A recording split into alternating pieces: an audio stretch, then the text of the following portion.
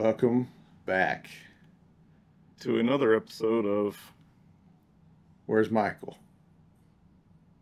Uh huh. Look at that. that. That's a nice touch. I like that. some Unpack Reboot. Uh huh. Kind of overshadows everything else like it should.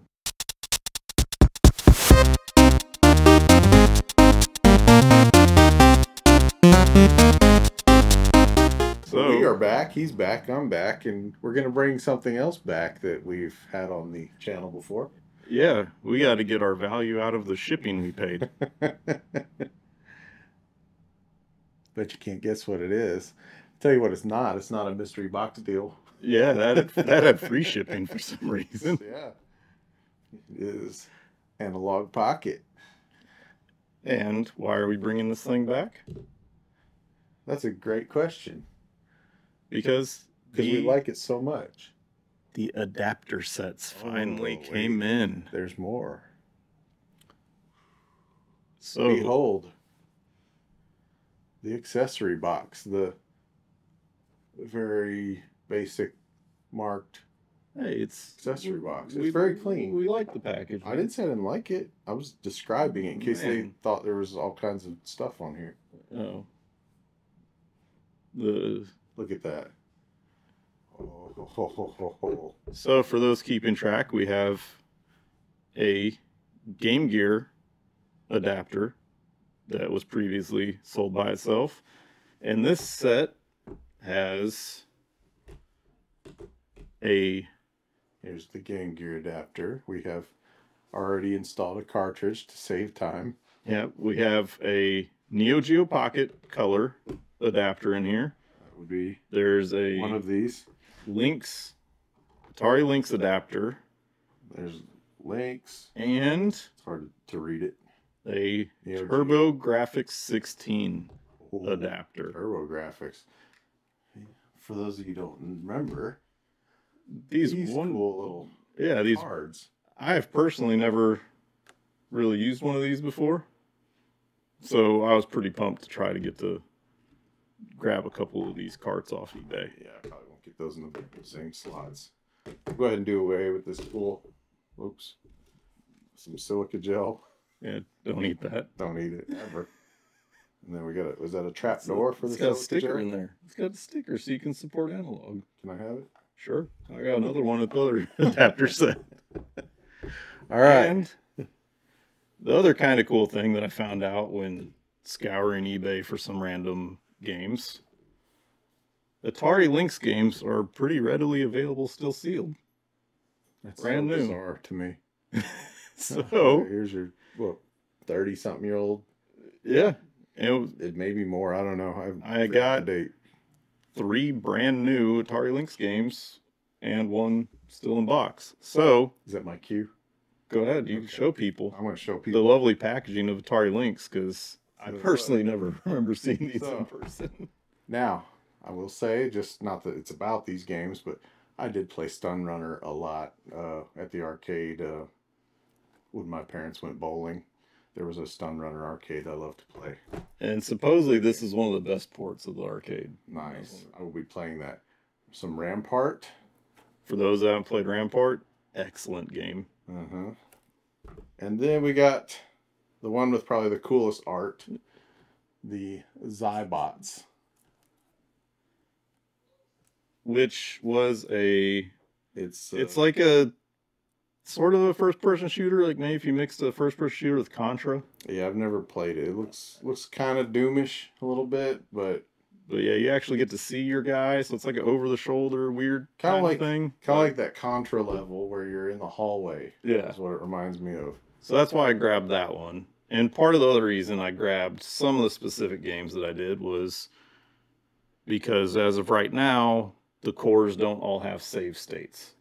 So some of the games I picked, I wanted ones that have that there's a reason to save them and it's not just playing an emulator that you don't need to mm. save your game. Except for Stun Runner, because that was apparently a solid game. And it was not on the Atari Lynx Evercade collection either. So Blasphemy. yeah. So- Here's what we got. I'm gonna be a stun runner.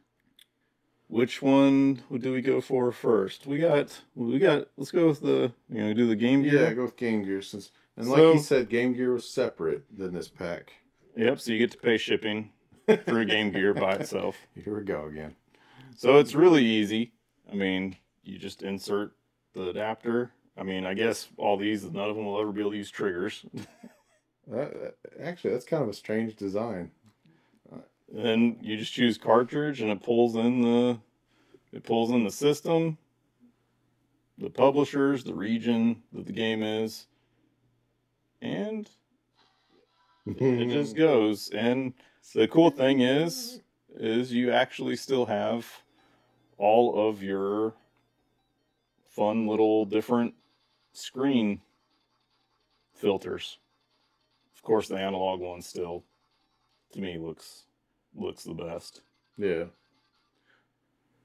And No, that's really cool to see, especially Game Gear, because uh, Game Gear was such a dark system that yeah, you didn't really a lot of times get to appreciate the the graphics and stuff on it and just seeing this like it, it does make it feel like it's pumped new life into the games yeah, and there's the, you know, having an actual backlit, yeah you know, full full new new age backlit screen, I should say. no that uh these adapters um like i said that that's i don't want to say a game changer because it kind of it kind of is because you put a different game in each one You know. Thank you for watching. See you again another See day. you- we'll see you later on dad jokes 101 So, Game Gear adapter, very impressive. Now, you know, what? I'm gonna save. that have a number one on it? It did. It does. So there you got one, two, three, four, because Yeah, you're gonna you're gonna memorize those Boston numbers. there. Yeah. I'm gonna save number two for later mean stuff. Okay. because that's gonna have a little more conversation to it. All right. We need more conversation. All right, let's go with Atari Lynx. He doesn't talk enough. You know, it's because we have a YouTube channel to not talk and just stare at you. We a silent YouTube channel. You're welcome. Somebody's gonna try it. Here, I'll let you do the honors of breaking open a Oh. 30 year old sealed game. That that that hurts, man. I don't. Oh, I told you how I felt about I know. this. That's why I like for you like- to open it. I, I don't want. Uh, you didn't even give me a knife or anything. No, you just got ripped into Because keep in mind, this is 30 year old petrified plastic Yeah. on here. It should just fall off. I should, but I don't. You mm. had some good plastic in the 80s. the good stuff that doesn't biodegrade or Good recycle. lord. That, no wonder why these games are still. Yeah. Well, you know, air didn't get in there. That's, goodness. I, I yeah. You're gonna have to give me a tool. Oh man! All right, let's go get you a tool. We'll time lapse this part.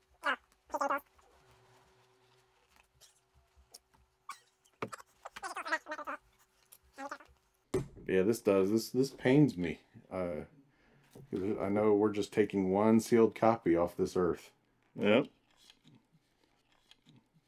Forget you I collectors. might have get you might have taken it too early. Oh, great! You can't use. Did you get it? Almost. I don't have fingernails. There we go. All right. Oh man. Look at don't- that. I think that's probably the oldest game I've ever, the oldest new game I've ever opened. Watch it not be in here. Someone somehow resealed all. There it this. is. There's a game in there. Look at that. Woo! Party Brand people. new. And then you just put your Man. finger all over the contact. Ah, crap. Man, actually, kind of still has a smell to it. It's weird. That- All right. So, it have a book? So here's the fun part. Oh, Oh, it's got a poster. Sorry, this just became a stun runner review. So Oh my goodness. Oh my goodness. Oh, this is awesome. It's not even unfolding correctly. okay, you're gonna tear up the perfectly good. Look at that. Look at that.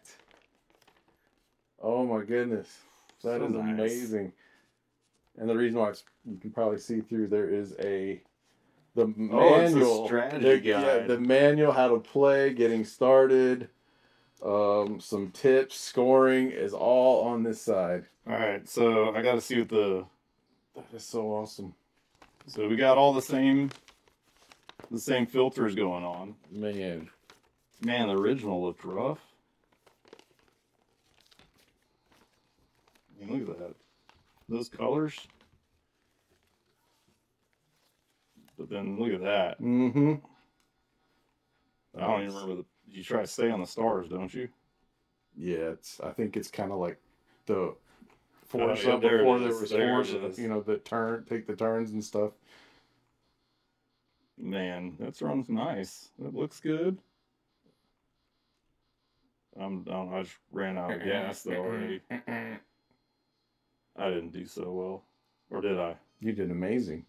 Look at that. Touch boost pads for hyper speed, A button for lasers. Mm-hmm. I don't know what button's A, but cool. Oh, I don't have lasers before? Oh, there we go.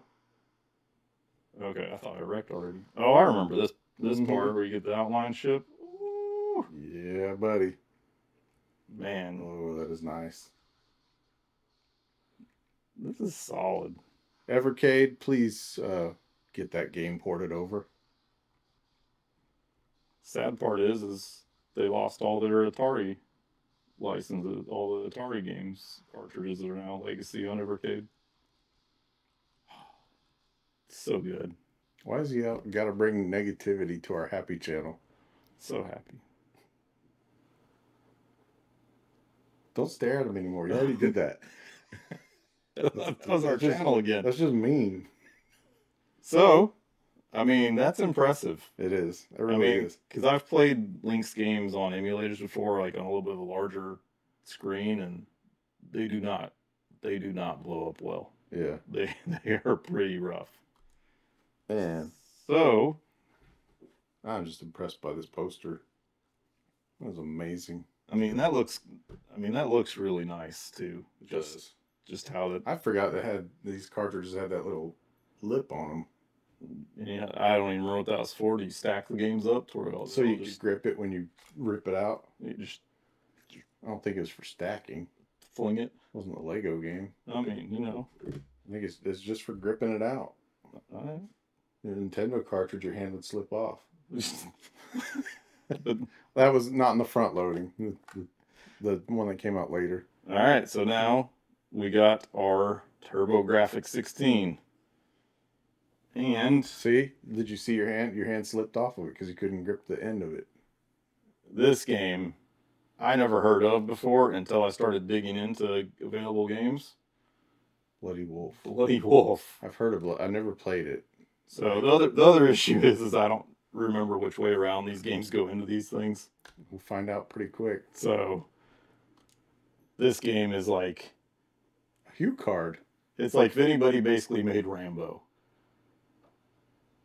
It's pretty solid. I played this the other day for the first time. And apparently the only time.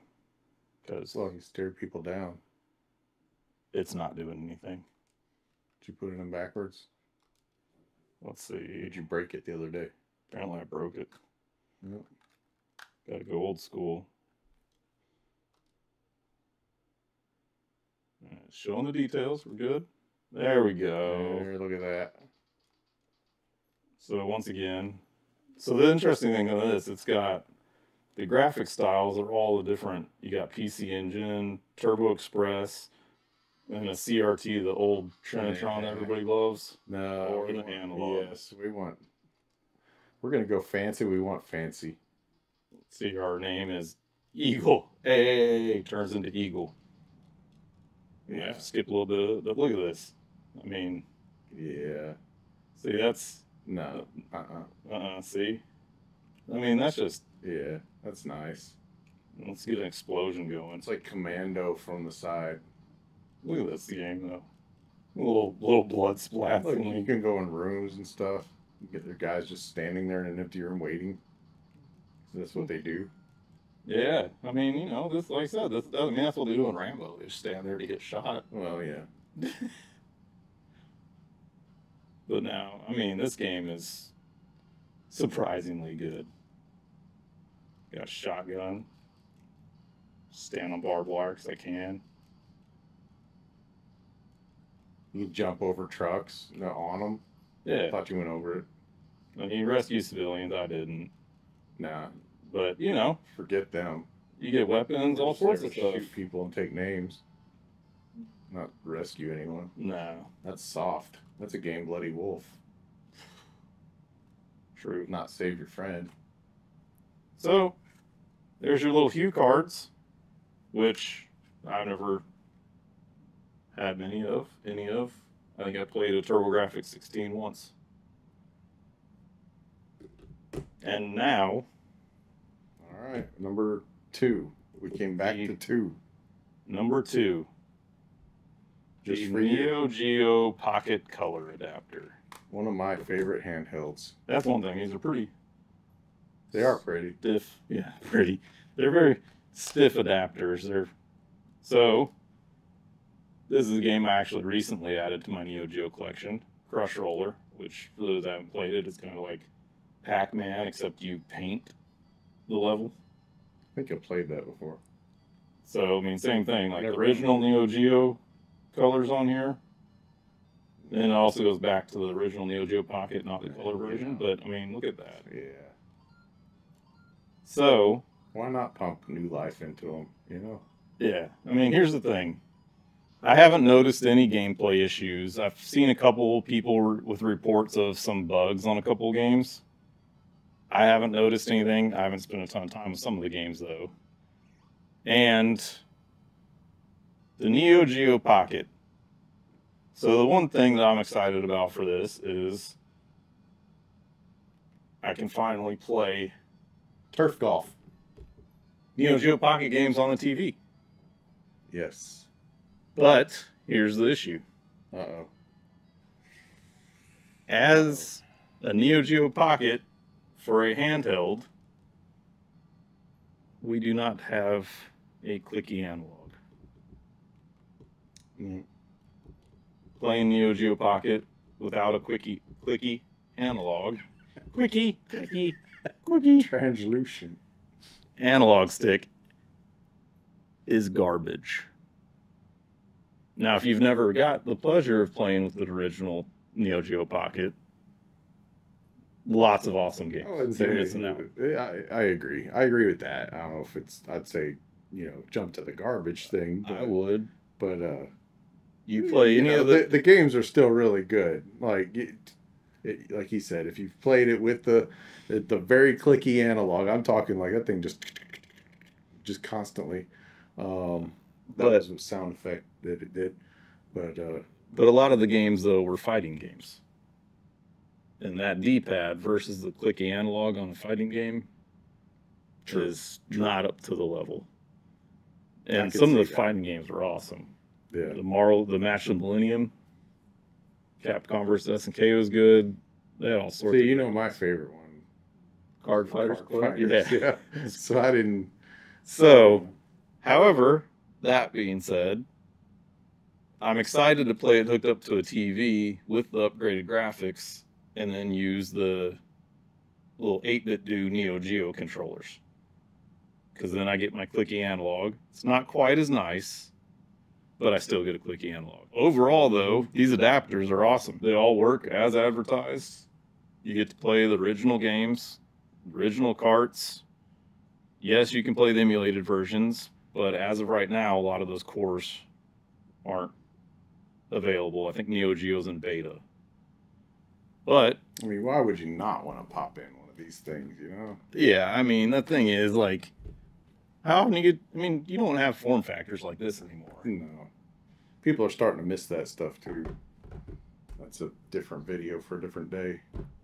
And, and I'll always stand by, like, yeah, you can load thousands of games on these, but then I end up not really focusing on a game. Yeah. I feel like if I take the effort to drop in a cartridge, then I'll sit there and play it for a little longer, give some more play time. I guess the other important part, the set of three adapters was ninety nine ninety nine Plus shipping, shipping, another hundred and twenty one dollars, I believe.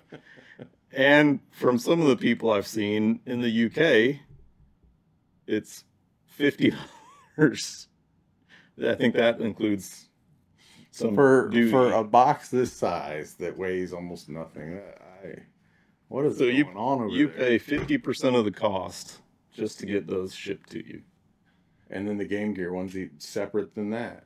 Yeah, and the Game Gear adapter is cheap, but then the shipping costs about as much as the adapter. Analogue, please get that together, please. However, I mean, these are some of the coolest adapters I think I've probably seen. They are. Style wise, super nice, lean, so well well built adapters.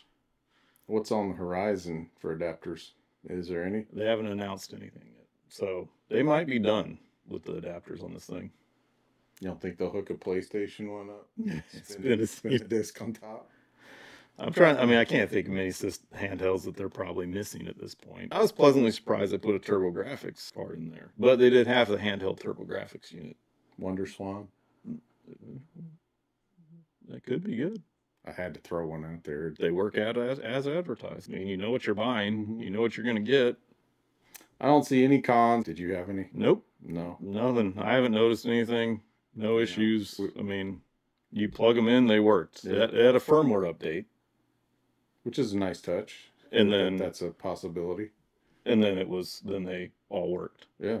They showed up, and So I they can still do things with them if, if necessary. you get to open sealed games that aren't crazy expensive. I think this guy. I think this guy was like fifteen bucks. Hurt your soul a little bit when you do it. Final verdict. Unpack. Obviously, we, you know, if, if you didn't get that by now, a good thing. It just opens up more things to do on that system that's already pretty versatile. I agree. Unpack. Mhm. And there's the other good thing to check out is there's some companies that are still making Lynx games. So you can- Sealed. Well, they're brand new. Maybe they That'd don't be seal funny them. if they They didn't. just, no, they just send you a card, cartridge. The on cartridge, but they don't have a poster. Probably not. We appreciate it. Like, subscribe. Stare at your friend.